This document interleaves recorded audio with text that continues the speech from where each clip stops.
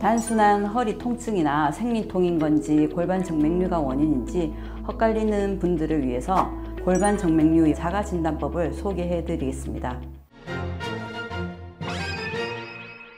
만성적으로 오래 지속된 아랫배와 골반 통증, 어디라고 콕 집어 말하기 힘든 신체 하부의 불편감을 겪고 계신 여성분들이 주변에 참 많습니다.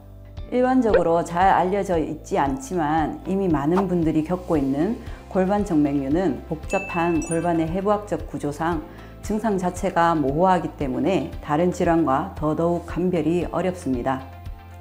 단순한 허리 통증이나 생리통인 건지 골반 정맥류가 원인인지 헛갈리는 분들을 위해서 병원 방문 전에 골반 정맥류 여부를 파악할 수 있는 자가 진단법을 소개해 드리겠습니다.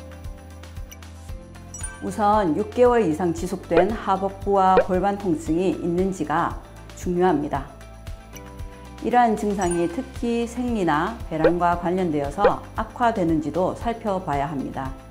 생리 기간이 불규칙하거나 생리량이 많은 것 또한 중요한 단서가 됩니다. 이와 더불어 배변과 배뇨의 곤란이 동반되는지도 중요합니다. 소변이 자주 마렵다든지 야간에 소변이 마려워서 빈번하게 깬다든지 여전한 잔뇨감이 느껴지는 등의 증상이 있을 수 있습니다. 직장을 압박하면 변비나 소화불량, 더부룩함이 있을 수 있기 때문에 이러한 동반 증상이 있는지도 중요합니다. 골반 정맥류 역시 정맥류 질환 중 하나로 신체의 하부의 혈류가 정체되는 원인이 되기 때문에 하지정맥류와 매우 유사한 증상, 즉 다리가 무겁고 붓고 경련이 나타나는 등의 증상을 일으키기도 합니다. 또한 잦은 질염과 방광염이 생깁니다. 그 외에도 두통, 만성 피로감, 불면증 등의 증상이 있을 수 있습니다. 또한 성교통이 있을 수 있습니다.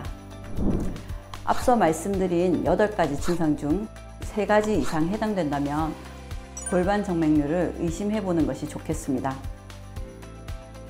만성 골반 통증을 앓는 환자의 대부분은 비뇨기과, 산부인과, 그리고 신경외과 등의 여러 병원을 전전하게 되는 경우가 많습니다. 여러 시도에도 불구하고 만성적인 골반 통증이나 비뇨 생식기 문제, 그리고 다리의 무거움 등에서 벗어나지 못하고 계신다면 하나하나 개개의 질환을 보기에 앞서서 골반 전체의 순환에 대해서 알아보시기를 추천드립니다. 순환이 좋아지는 것은 입산 전체를 바라보는 일과도 같습니다.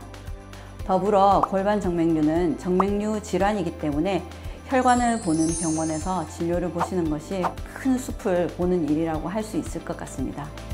올바른 골반 정맥류 치료를 통해서 여성분들이 한결 편안한 삶을 사시기를 응원하겠습니다. 성맥병원 장지란 원장이었습니다. 감사합니다.